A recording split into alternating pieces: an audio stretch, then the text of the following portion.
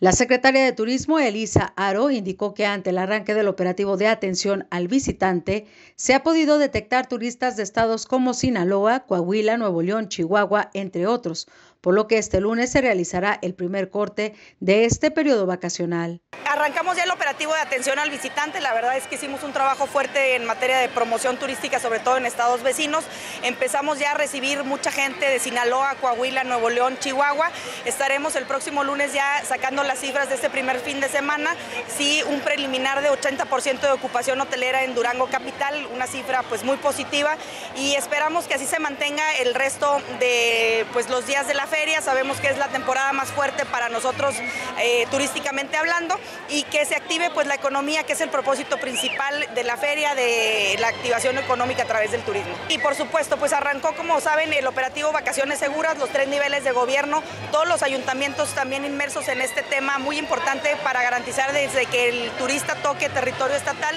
pues que pueda desplazarse sin ningún inconveniente a los diferentes municipios. De esa forma, la titular de la Secretaría de Turismo refirió que con el operativo Vacaciones Seguras se logrará junto con los tres órdenes de gobierno la garantía para que la gente que llegue al estado pueda realizar sus recorridos de manera segura, evitando con ello algún tipo de inconveniente. Tenemos muchos paisanos también en esta temporada, hemos detectado sobre todo llegada de gente de California, Texas, Illinois y sabemos que se desplazan no únicamente a Durango Capital, sino a otros municipios y buscamos pues que esa coordinación de los tres niveles de gobierno en materia de seguridad pública pues les permita llegar a sus destinos, pero que sí pues aprovechen también a visitar la feria, que aprovechen las excursiones que vamos a estar teniendo también algunos municipios como Nombre de Dios, a Nuevo Ideal, que también es algo novedoso para eh, buscar también que la derrama se, se, lleve también a estos municipios. Sí, tenemos una proyección durante la temporada vacacional de 80 mil turistas en hoteles. Prácticamente eh, empezamos también el, eh, la parte de las encuestas para conocer el perfil del visitante. Aproximadamente